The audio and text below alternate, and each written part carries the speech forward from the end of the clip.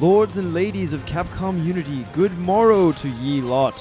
Gregaman here to warn you about some of the extremely violent and deadly new enemies you'll encounter in the upcoming Dragon's Dogma Dark Arisen. The game will include a host of new enemy types, and while I'm not here to spoil all of them for you, I do think I'll go ahead and give you a little sneak peek. And just out of the kindness of my heart, maybe I'll teach you a few strategies along the way. So sit back, you just might learn aught of use. Eh? First up are the Pyrosaurians. Veteran Dogma players will remember taking on both regular Saurians and Sulfur Saurians in the original game, but neither of those were breathing fire in your face. Pyrosaurians add a brand new element of danger to the mix, and that element is fire. Mm, Look at them go. If you're crafty and well prepared, however, you'll find a number of ways to deal with these feisty firemongers. Try tossing a flask of water at them to temporarily snuff out the flames that serve as the source of their power. You'll note that Pyrosaurians can have their tails severed just like other Saurians, causing severe damage and providing you with a nice little bonus drop. Of course, they're also not fans of ice. Ow. Next up is the Eliminator. This guy lives to do one thing, and the name gives it away. How does he do it? With gusto. That hammer smash will one shot even a moderately tougher Risen, but you'll note that it's not the quickest move out there. If you can talk a pawn into lending a hand, the move is easy enough to interrupt with a stagger.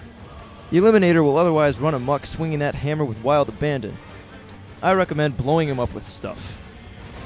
That too will cause a stagger.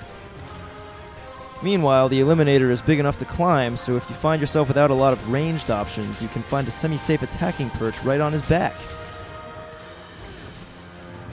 Finally, we have Death. You know the concept, now meet the embodiment of it. Death will appear from time to time throughout your stay on Bitter Black Isle, terrorizing you with horrible, immediate death.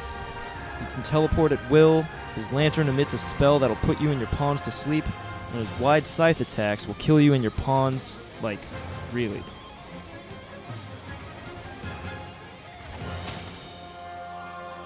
If he catches one of your pawns with that thing, there ain't no reviving them mid battle. You'll have to go find a riftstone later to retrieve them. With all that danger, it's best to keep your distance. Besides, death is 100% climb proof, so there's no use in getting all grabby.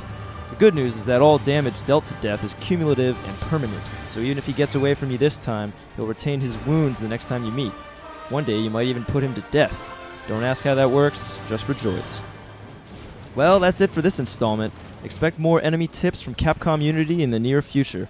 Dragon's Dogma Dark Arisen comes out on April 23rd in North America, April 26th in Europe for Xbox 360 and PlayStation 3. Fare thee well.